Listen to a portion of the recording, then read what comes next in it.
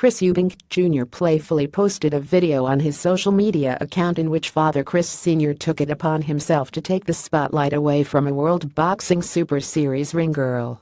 In typical Eubank Sr. style, the ex-world champion had no time for a young lady attempting to get into a photo with his son, and instead took the spot himself to hilarious consequences.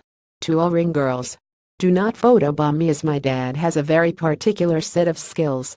He will look for you, he will find you, he will pie you. Pic.twitter.co MSKWDIACHAD Chris Eubank Jr. at Chris Eubank October 9, 2017 Upon seeing a video clip, Eubank Jr. decided to relay the incident to his fans with the tagline, To all ring girls.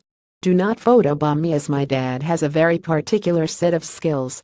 He will look for you, he will find you and he will pie you, but was met with an adverse response from outspoken UK singer Lily Allen. They are doing their job. Your dad went bankrupt and gave you to a stranger in Vegas. The only photobomber here is him, said Allen, referring to a spell in the United States for the IBO super middleweight title holder during his youth.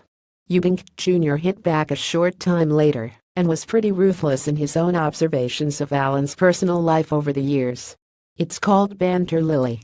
You're well known for abusing drugs and alcohol so maybe focus on respecting yourself first before worrying about others, snapped the 28-year-old. Allen had a couple of more tweets to follow up with, including him actually sober, but thanks but all in all, fellow boxers and fans of the sport sent the tweets viral with their obvious delight. The Brighton man booked his place in the WBSS semi-finals on Saturday night with a crushing victory over Avni Yildirim, and is now firm favorite to lift the Ali Trophy in May of 2018 when the tournament concludes.